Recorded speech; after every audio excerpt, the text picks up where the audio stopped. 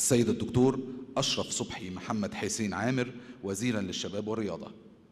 أقسم بالله العظيم أن أحافظ مخلصا على النظام الجمهوري وأن أحترم الدستور والقانون وأن أرعى مصالح الشعب رعاية كاملة وأن أحافظ على استقلال الوطن ووحدة وسلامة أراضيه. السيد